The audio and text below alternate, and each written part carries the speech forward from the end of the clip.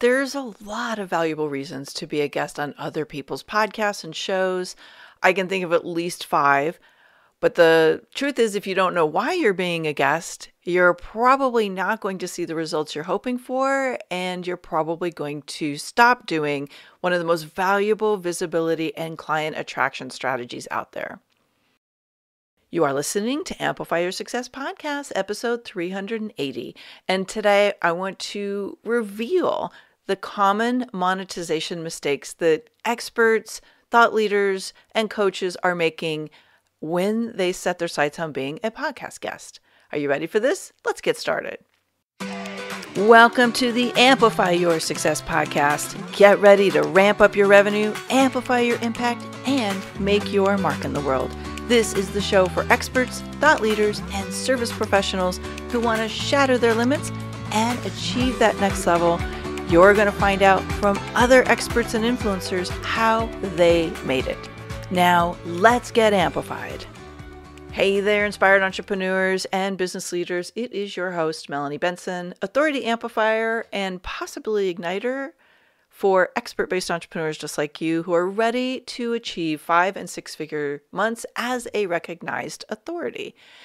Now, today I'm talking about monetization mistakes through the lens of you want to be a guest on other people's podcasts or virtual shows and this strategy is getting more and more traction. There are a lot of people who are interested because they've started to hear the results that are possible. They're starting to hear from podcast booking agencies and PR agencies that you know you need to be more visible if you want to attract more clients if you want to position your brand as a leader in your industry you want to be recognized as an authority which gives you a competitive advantage and i want that for you as well However, just consider there are a lot of people vying for what might be considered limited availability. Even though there are 300,000 active podcasts, there's like 10 times that on YouTube. Not all of those shows are interviewing people, and not all those shows are going to really be in alignment with your niche, your area of expertise. So you want to really look at how do you smash it? How do you really stand out? How do you make sure that you're leveraging this platform wisely?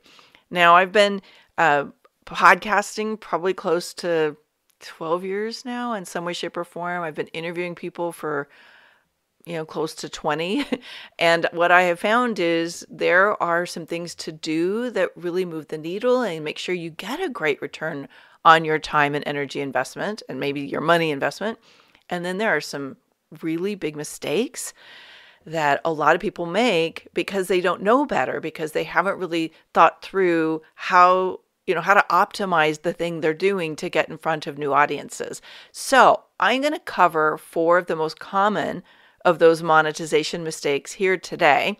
And I also want to give you access to my entire scorecard. It's absolutely free. If you go to melaniebenson.com forward slash scorecard, you can download my 17 mistakes that guest experts make that cost them the lead and the client. And there are 17 different things that when you do those things, they start kind of disconnecting the audience or disconnecting the host even before you get a chance to be in front of your listener base and it keeps you from being able to tap into the results that you've been promised or that you see other people getting. So, again, melaniebenson.com forward slash scorecard. I highly recommend that you review it. I've given you a little scorecard to review your own process. And if you're not sure that you're smashing, that's a good thing, right? Smashing's a good thing. Uh, each of those areas, that's an opportunity for you to optimize it and watch for the training that comes afterwards uh, after you download the scorecard and I'll unpack this a bit more for you and show you where perhaps you can lean into some mastery, some optimization that'll help you 10x the results you're getting right now. So, how did I come up with these mistakes? I didn't just um, drop this into AI and ask AI or ChatGPT what my mistakes are. No, I do my own on the ground research. And these are things that personally, like I've been through the school of what works, what doesn't work. And I study like what when I do a tiny shift or what when I implement a certain strategy works better. So I'm personally optimizing everything I do. But even more impactful, the guests that I've had on my three different shows over the last 12 years, I started to notice trends. I started to notice people who would come back to me and say, Melanie, I got so many leads from your show. Or somebody who would say, wow, that was really powerful visibility. I landed a few clients, right? They were telling me they were getting results. And I started to notice my own reactions. Was I pulled in to what this guest was talking about, or was I bored out of my mind? And I realized, wow, there are actually really talented, trained speakers, people who make millions in their business, but the experience they were creating through this platform of a podcast was not making them shine. It was actually working against them. And these are the same people that would say to me, Melanie, like, what are you doing that I'm not doing? Can you help me? Because I feel like this is a huge waste of time to be a guest. I'm not getting the results. These are the same people that would start a podcast and then cancel it. They would stop airing episodes because they weren't getting results. And when I started to look at the common mistakes, that's where the scorecard came from. And if I could just highlight the top four of them, this is where there was opportunity that would have immediate bang for the buck for them. Like this was low hanging fruit that really moved the needle. And again, like I've been teaching people in guest expert system and the 100K 3 accelerator for six years now, I guess it is, how to implement these optimization techniques. And these are the four that when they fix these mistakes, they have the hugest payoff fast. As a matter of fact, like just quickly before we get into these, one of my clients, um, she was kind of doing mistake number two that I'll cover here. Actually, she had a couple of these, but uh, the big one was the mistake number two. And when she fixed this and she actually learned how to do the pitches the way I teach them in uh, guest expert system, what she realized very quickly was, oh, okay, like her, um, her, uh, uh, like she actually got one of the hosts who was so moved by her concise messaging that she booked her on the spot and it was a 50k gig. So getting these things resolved again can have an immediate impact on your bottom line. So let me talk about the first topic. And I mentioned my client had several of the um, things that I'm going to cover here. And this is a quick fix. This is one that almost everybody that goes through my programs, whether it's 100K, the Accelerator, or the guest expert system, both of the uh, biggest reasons why when people are coming in, they're like, oh, yeah, okay, that's an area that I could get some quick impact. And that's going from what I call generic gene to having a magnetic, compelling topic.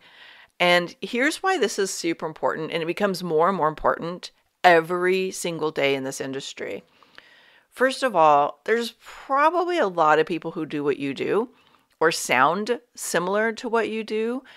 And one of the fastest ways to give yourself a, vis- a visibility advantage is by creating a topic that's differentiating from everyone else. Now, you might think, well, I do do stuff that sounds like a lot of other people. And there's there are some people who will give you advice to say plain language, make it plain, make it simple. You know what? I don't think in this case that works as well.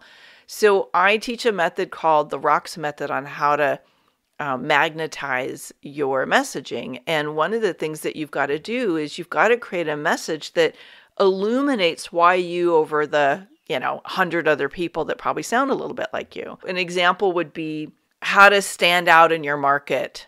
Okay, so that's something that anybody could teach. But the way I usually have a topic around it is something like uh, how to generate million dollar visibility that gives you a competitive advantage in your unique niche, right? So again, that's a little flowery, but that you get the idea. I'm not just talking about visibility. I'm talking about million dollar visibility, which I'm sure a billion people are going to start using that down the road. But right now, that's my fresh topic. That's what's getting me traction. And another example, I worked with a guy who he was a high performance coach and he was brilliant. He was magnetic. He had so much power. But when he was pitching his topics, and he actually started working with me because he's like, I'm not getting booked. I don't understand what's wrong. And so we worked on his topic, and he was really dead set. And he was like, the three pillars of high performance entrepreneurs. I'm like, I get that's what you do but it sounds so plain. It's it's like it's not it just can blend into the noise. And so we shifted his topic a little bit to be really more specific, more engaging. And then he had this opportunity to pitch his topic in front of an audience of podcasters, and he got booked by like 40 of them immediately.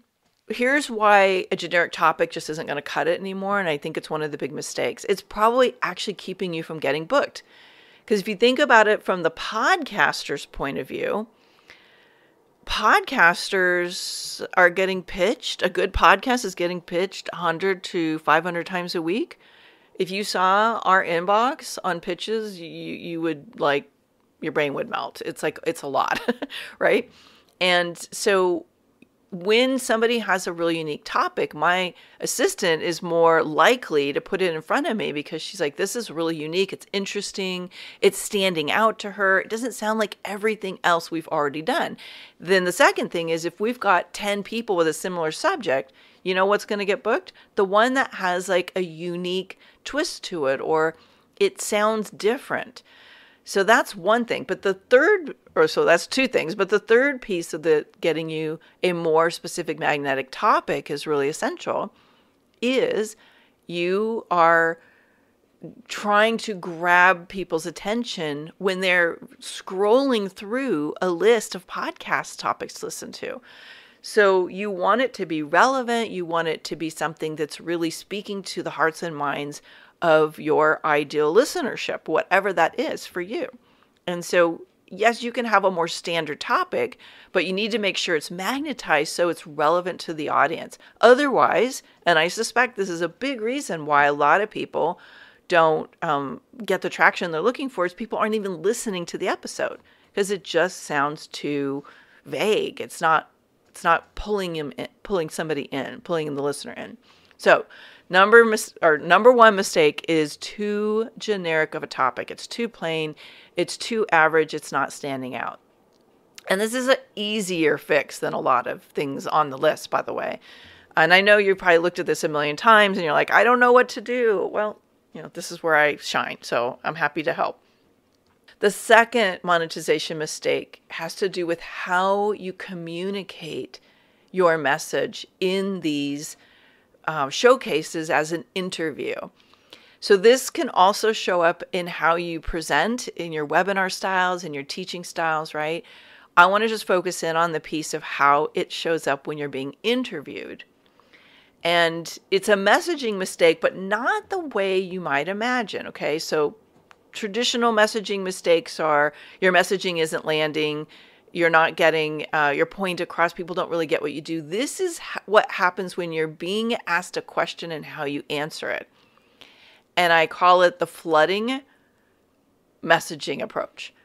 So, flooding basically means that when you communicate, you are like a fire hose and you drop all the goodies, all the information. And it, you know, some people might refer to this as over delivering. I literally think of it as like you talk nonstop and your delivery is so disconnecting that you're not getting people to hear the power, the impact.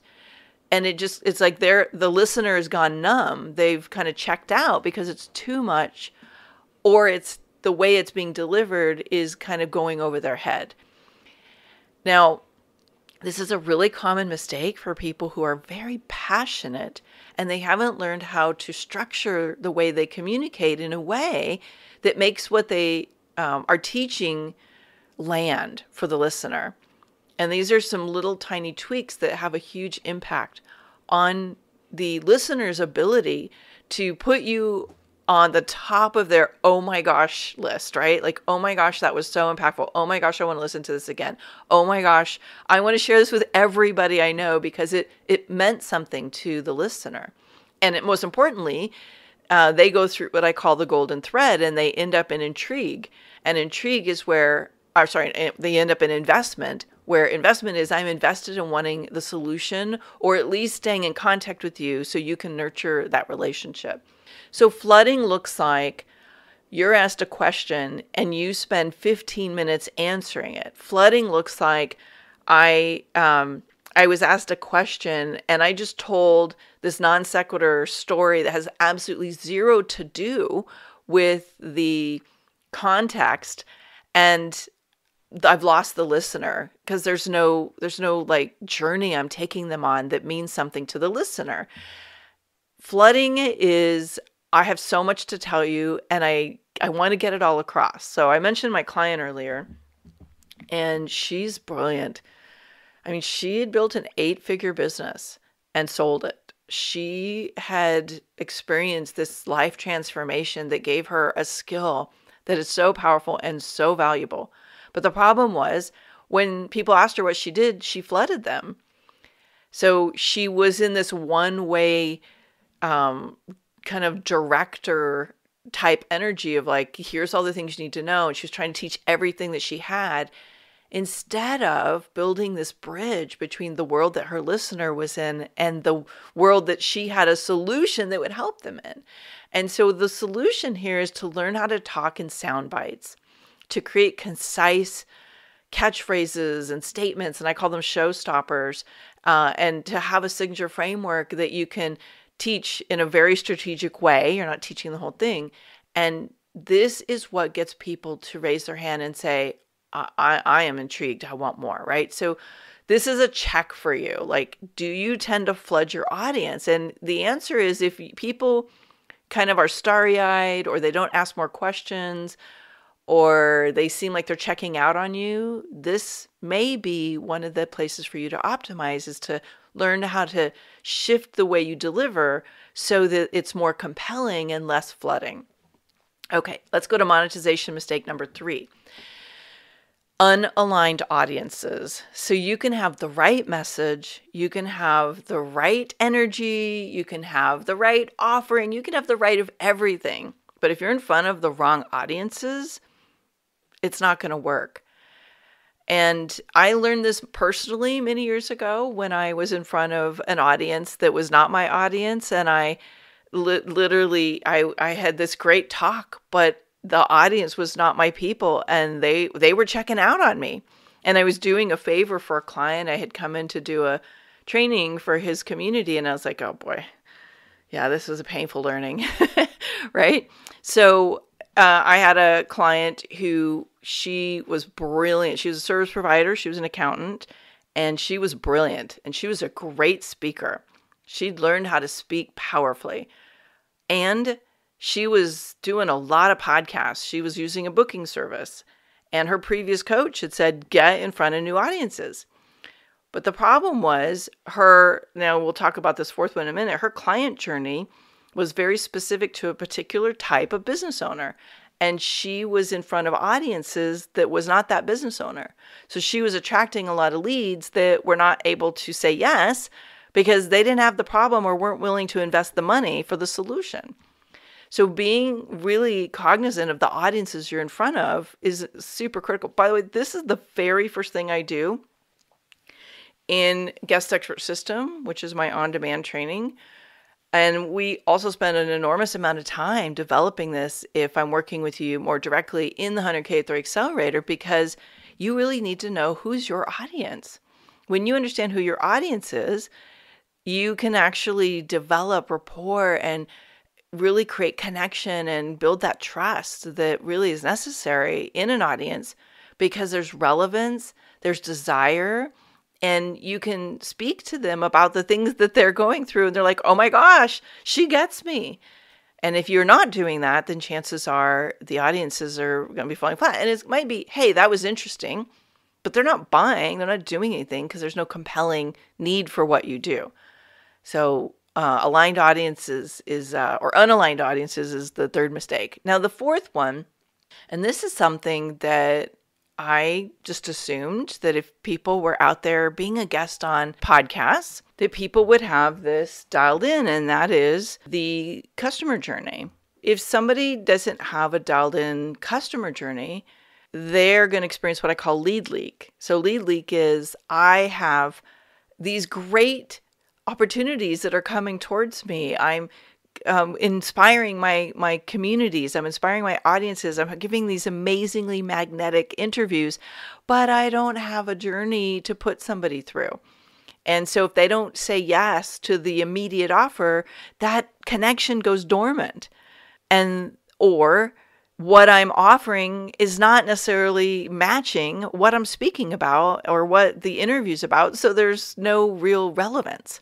Having the right customer journey means that you have some way to inspire people to invest in working with you, whether it's the investment of a time or an email address or uh, even a small offer that is so perfectly tuned to what you're speaking about that it's like, boom, of course I got to do this. What I have heard in the podcast statistics world, so there are people that study buying behavior and they really listen to what people, um, what behaviors they're taking from listening to podcasts. And people who listen to podcasts are something like 57% more likely to buy from a vendor they hear showcased on a podcast especially if they're a longtime listener of the show and they've already built a relationship with the host and there's trust there. Because ultimately, when you're a guest on someone else's show, you are borrowing their trust, their influence, and their credibility. So if you don't necessarily have your customer journey dialed in, it's not that it's not working. It's just you don't have a, a like a a roadmap for that potential uh, client to follow. And that's why it's not working for you. And that's something that's pretty fixable. It's just you need to dial it in. And when I, I get really excited when people go through 100K through Accelerator, and this is one of the things they're focused on because we'll dial in their lead magnet, which is that free first step. And how is that going to take them to a four to five figure offer that's a must have offer? I call it a heck yes offer. And getting that clarity oftentimes is exactly what drives the right topic, the right messaging, and the right audiences. Those are four of the most common monetization mistakes that I've been seeing my clients and you know people in the industry making. And again, if you're hearing yourself in this, please just know we all make mistakes. We all have to learn how to really make this work better. And ultimately, I share this because I want you, because I know you're busy. I know um, your effort matters. Like, I want you to start seeing better results from something that works so well. I mean, this strategy works really well for me. I meet some of my best clients from the generosity of people who invite me to be a guest on their show. I have booked over a million dollars in visibility as a guest expert being invited to my partners, stages, shows, and podcasts over the years. And it continues to do well for me. And it's partially because I've learned how to dial in this whole strategy. And I'm happy to teach you what I've learned because I want you to have the same information. I want, if you're going to use a booking service, make sure you're ready for that visibility. Make sure you can monetize it. You want to sell more books? Let's make sure you've got this all dialed in so you're getting booked and you're not just spending a fortune for uh, bookings that are not coming through or even the right audiences for you. I want this to work for you. It can work. It can work way better than it probably is right now. So make sure you download the scorecard. Start there. MelanieBenson.com forward slash scorecard. Give yourself a little assessment. And hey, wherever you're listening to this, give me a little shout out in the comments, or if you're more comfortable, pop into one of the DMs, or you can even send us an email if you're on in my email community and say, "Oh my gosh, I'm making these mistakes. What do I do about it?" Right? I want to be your guide. I want to be your support system. I want to see you adding a minimum of six figures to your business's share because you've learned how to dial this in. Thanks for tuning in today, Amplifier. Be sure to join us right now in the Amplify Your Authority community at authorityamplifiers.com, and I'll share my seven proven tips to be a highly paid expert that stands out in a crowded market. Plus, we're going to keep this conversation going, and I want to hear from you how you're going to amplify your authority and make a greater impact. Before you go, please take a minute to give our show and our guests some love over on your favorite podcasting platform. Subscribe, rate, and review Leave your full name and I'll spotlight you and your authority on social media.